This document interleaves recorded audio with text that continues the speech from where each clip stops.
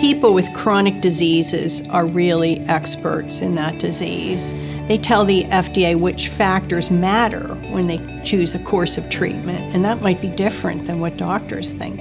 Under the PDUFA 5 Patient Focused Drug Development Initiative, FDA committed to conducting a series of meetings focused on specific diseases. In the meetings, we hear the patient perspective of the impact on, of their condition on their daily life, on treatments, and on how to choose a treatment. We also hear from patients in webcasts, by phone, or through the public docket. And these meetings are a critical aspect of FDA's decision making and give us the context in which a regulatory decision is made. CDER has held so many patient focused drug development meetings.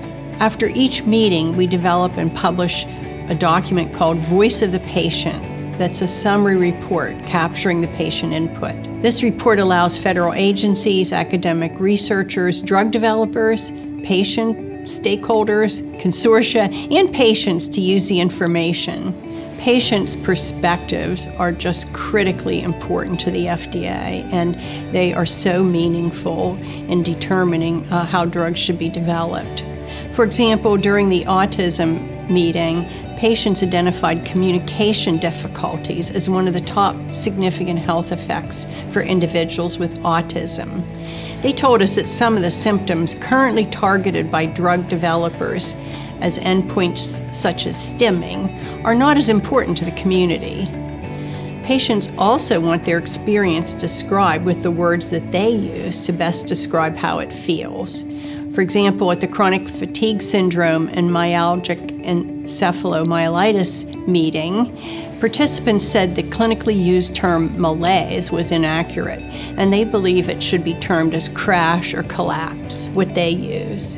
Well, drug companies, sometimes working with researchers or patient groups, conduct trials and then submit applications for new drugs to the FDA. And they can incorporate patient perspectives into their drug development program. This can help, for example, in designing the proper clinical trials, both that measure the right endpoints, but also are convenient and allow patients to participate. They can also help identify areas of unmet need, for example, a symptom that hasn't been relieved by current therapy. And they can also help raise awareness within the patient community of trials and thus help with recruitment.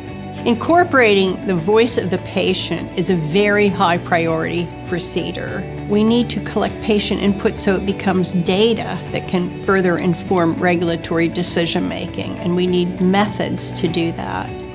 And we're going to have to provide then guidance to patient communities, researchers, and drug developers on pragmatic and methodologically sound strategies. So I cannot stress uh, enough how important uh, having the patient and the patient's voice at the table is uh, during drug development and in evaluating the safety and effectiveness of new medicines.